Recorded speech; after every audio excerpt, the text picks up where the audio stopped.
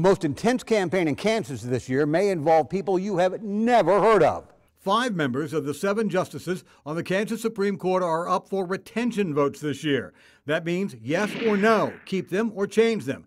And conservatives are gunning for four in particular Chief Justice Lawton Nuss, Justices Marla Luckert, Carol Beier, and Dan Biles. All were appointed by either Republican Governor Bill Graves or Democrat Kathleen Sebelius. And critics of the four say they've gone too far in rulings involving abortion laws, a death penalty sentencing case, and the latest school ruling.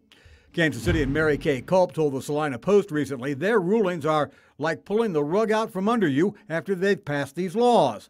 Now, justices don't campaign to stay on the bench. Others will do that for them. And the judges' defenders say the separation of powers is under threat here. Voting on judges is nothing new, but this could be the fiercest campaign in the Sunflower State. That's my minute.